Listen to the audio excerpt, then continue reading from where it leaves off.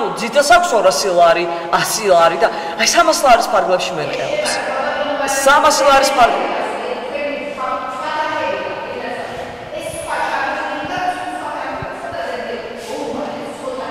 ქაბატონო ლიანა, თქვენ ხელფასი რამდენით გაზრდეთ?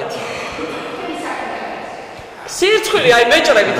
ერთიანი ნაციონალური მოძრაობის წევრი და გორის მუნიციპალიტეტის საბავშვო ბაღების სააგენტოს ხელმძღვანელი ერთმანეთს სიტყვიერად მას შემდეგ დაუპირისპირდნენ, რა დროსაც ვასილისა ჯაბახიძემ ლია კოზიაშვილი ნეპოტიზმში ღიად დაადანაშაულა. ოპოზიციური პარტიის წევრი განმარტავს, რომ კოზიაშვილმა ბაღების გაერთიანება დასაქმების ბიუროდ გადააქცია და საკუთარ ახლობლებს ამუშავებს. საბავშვო ბაღების მსგავსად ჯაბახიძემ დასაქმების ბიუროდ კეთილმოწყობისა და სპორტის სააგენტოებიც მოიხსენია. ნაციონალური მოძრაობის წევრი აიპებში დაბალ საფეხურებზე დასაქმებული თანამშრომლებისთვის განკუთვნილი ხელფასებითაც უკმაყოფილოა.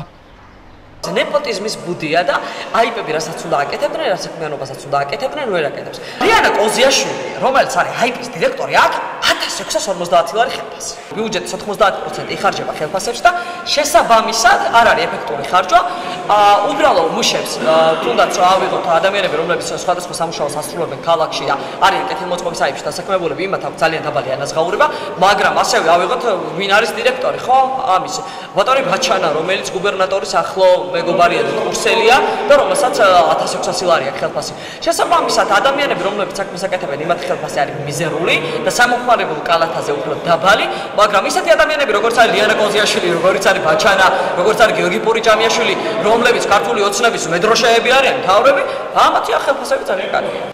საბავშვო ბაღების სააგენტოში ბრალდებებს აბსურდული უწოდეს. ლიაკოვზიაშვილი განმარტავს, რომ გაერთიანებაში მხოლოდ მისი რძლის ძმა დასაქმებული და როგორც ამბობს, იგი აღნიშნულ ლაიფში იქამდე მუშაობდა, ვიდრე ხელმძღვანელად დაენიშნებოდა. კოვზიაშვილი ხელფასების თემასაც შეეხო და განაცხადა, რომ საბავშვო ბაღებში ანაზღაურება მცირედი, თუმცა მაინც გაიზარდა.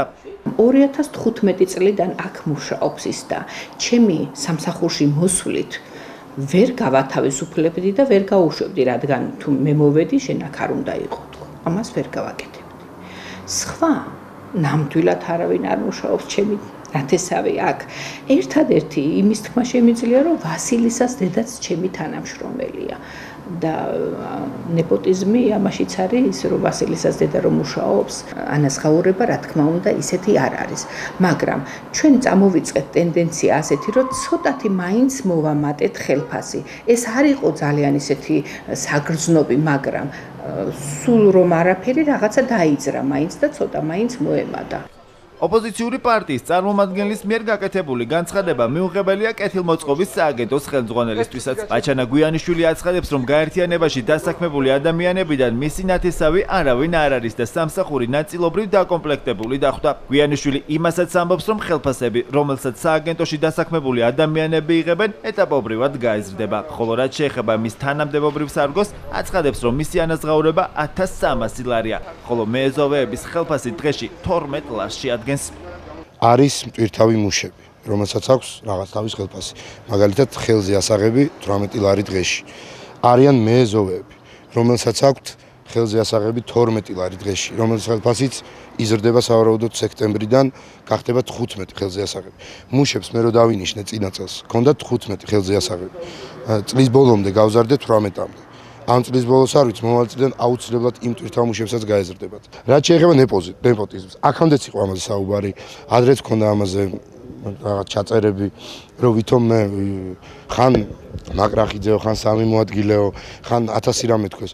არავინ ეს ხალხი მე არ დამინიშნავს ამ სამსახურში. ნაციონალური მოძრაობის წევრის კრიტიკას არიზიარებენ სპორტის განვითარებისა და ხელშეწყობის სააგენტოშიც. გაერთიანების ხელმძღვანელი აცხადებს, რომ ვასილისა ჯაბახიძის განცხადება ბუნდოვანია და მეტი სიცხადია საჭირო. იგი განმარტავს, რომ სააგენტოში დასაქმებულების რაოდენობის გაზრდა რამდენიმე აიპის გაერთიანებას უკავშირდება და nepotizmi აქ არაფერ შუაშია. გიორგი პურიჭამიაშვილი სააგენტოში არსებული დაბალი ხელფასების გადახედვას უახლოეს მომავალში არ გამორიცხავს.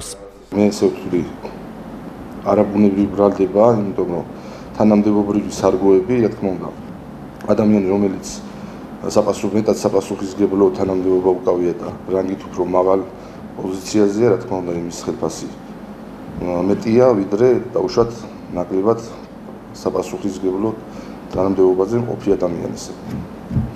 ანუ მე აქ ვიხედავ ისეთ ვერაფერს რომ დაუშვათ ვინმე სამე პრეტენზია გააჩნდეს.